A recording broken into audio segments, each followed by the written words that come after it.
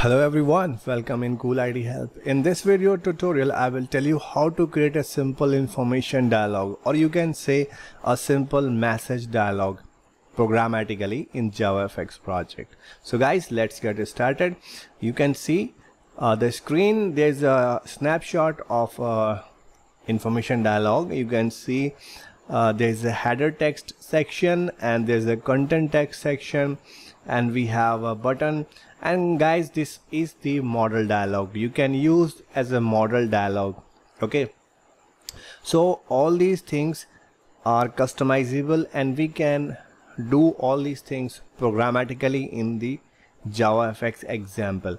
Okay now we are going inside the NetBeans IDE there I have created a FXML based project as usual.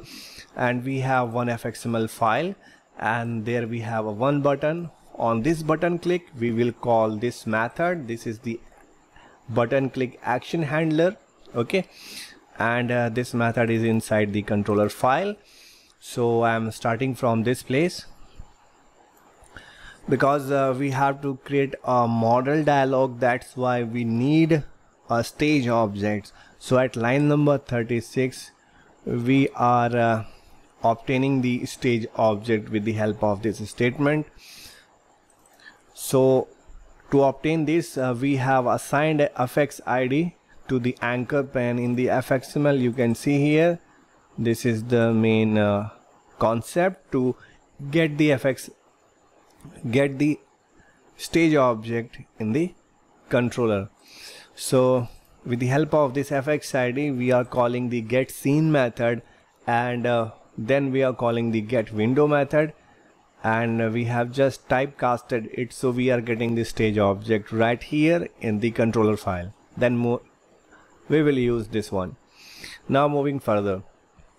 So guys we have to create the uh, information dialog. So we are using the class alert type that is ready-made class and you can choose the various types of dialog so this is the constant ready-made constant. The confirmation error information uh, none and warning. So we have uh, selected the information. And then uh, simply we have uh, created one alert object. And we have just passed here the type object. Okay?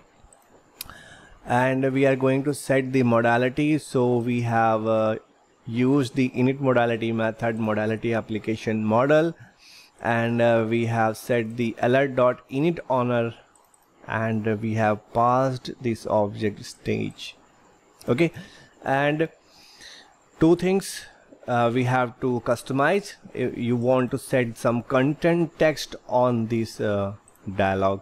Like uh, this is the header text and this is the content text so you can use this method.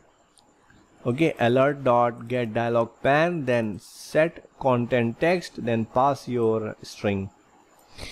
In the same way to set the header text you have to call this method set header text and then you have to pass the string. Okay guys. And finally to display this uh, dialog on the stage you have to call alert dot show and wait method this is all done. I hope all this code is clear to you. And let me run this example and I, and I will show you the information dialog on this screen.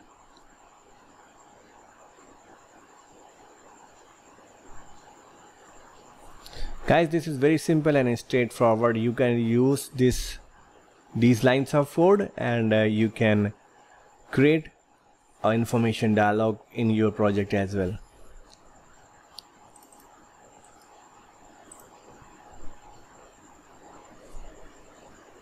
So this is my main stage and I'm going to click this button.